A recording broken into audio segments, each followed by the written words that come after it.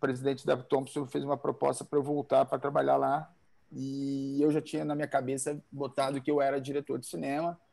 E uma coisa que eu aprendi nos Estados Unidos que é diferente da, muito do Brasil, né? No Brasil você sempre acha que você precisa fazer assistência de direção para você virar um diretor. E a cabeça do diretor era um pouco diferente dentro do né, no, no, cinema de um assistente de direção. O assistente de direção está mais ligado ao produtor do que ao próprio diretor. Não quer dizer que ele não possa virar um diretor, mas é um cara muito mais metódico, é um cara que tem que fazer com que as coisas funcionem. É, é a parte mais importante, acho que dentro de uma produção, mesmo no set, é o primeiro assistente de direção.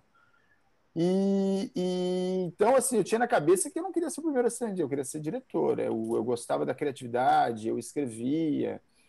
E então eu comecei a trabalhar na área de publicidade, fazendo, né, é, dirigindo filmes na Espiral. Mas ao mesmo tempo, como eu sempre gostei de escrever, eu comecei a escrever roteiros de filme. E o meu primeiro roteiro foi o Fábulas, né? É uma mistura, é um filme bem fantástico, um filme é, vamos dizer, um Pulp Fiction misturado com Mulan Rouge, uma coisa assim, acontece no mundo fantástico. É, são dois matadores que vão atrás de um cara que traiu Deus. Deus tem uma mulher, o Deus daquele mundo, né? E ele deixou um sapatinho debaixo da cama, e o sapato é pequeno. E ele tem que achar numa lista de seis suspeitos o dono daquele sapato, calçar, matar e entregar o corpo para Deus, né? E é um roteiro que, assim, eu, eu adoro. Muitas pessoas que leram o roteiro acham um dos melhores roteiros que eu tenho, assim.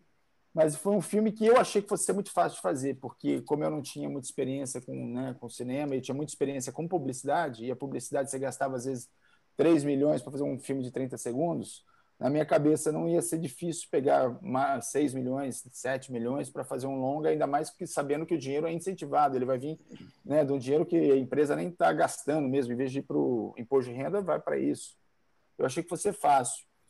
E aí quebrei a cara, eu vi que era muito difícil gastar dinheiro para um, um filme, principalmente quando é o teu primeiro filme, ninguém sabe quem é você.